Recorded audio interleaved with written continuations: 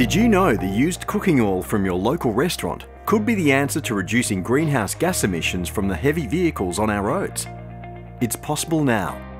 Cleanaway is one of the first in Australia to use renewable diesel to demonstrate how we can all benefit from this low carbon, circular fossil fuel replacement. So, how does it work?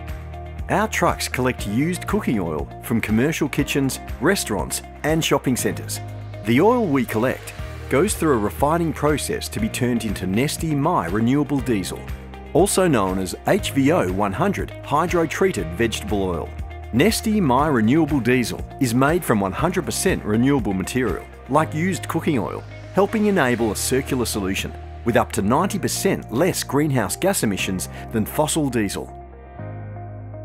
Heavy vehicles transporting waste, food, products, and other freight services contribute to Australia's greenhouse gas emissions. We're putting renewable diesel in selected Cleanaway trucks to demonstrate how effective this fuel can be for reducing emissions from heavy vehicles in Australia.